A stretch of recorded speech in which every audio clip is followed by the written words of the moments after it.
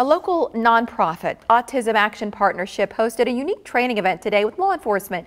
3 News Now reporter Jill Lampkins went and tells us more about what everyone learned.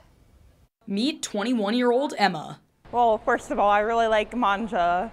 She has autism, and while the free pizza was a good incentive to come, she wanted to learn more about her local police. Seeing the police officers who make so much sacrifices and what they do for our community is really nice.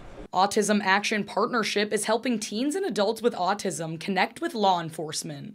You know, for the police, for the community, for individuals with disabilities, I, I think that, you know, you know better and you do better. And I believe that this is going to keep breaking barriers and it's going to keep a momentum going. Christina Daly has a 20 year old son with autism who she worries about when dealing with authority. So I thought today would be a perfect time for him to learn how to calm down in those situations and how to interact with people in a situation that can be scary or overwhelming for him.